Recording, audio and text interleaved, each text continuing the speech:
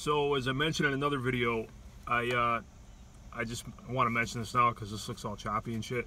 It's not factory. I actually painted the wood grain on here, and uh, it wasn't too difficult if you got a little, I don't know, like artistic ability, I guess.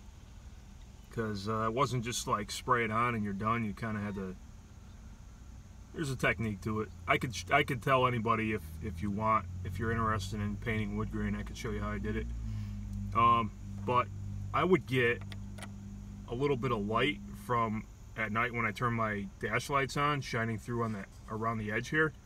So what I did, actually, was all up around here.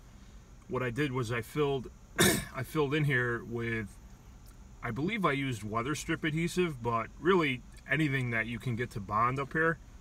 You just don't want to block off. The light comes through this little clear lens right here. There's a, I guess, a light bulb like way in the back there, and it comes through here. You don't want to block that off. You just want to block it off from coming through on top. I don't know how well you guys can see that but just in case you have that problem on your Ford Ranger or Explorer or any vehicle for that matter that's a little a little trick that I figured out. I could just put a little bit of that up there.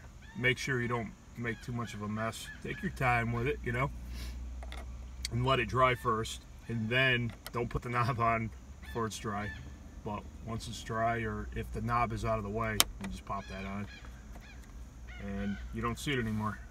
Ta-da!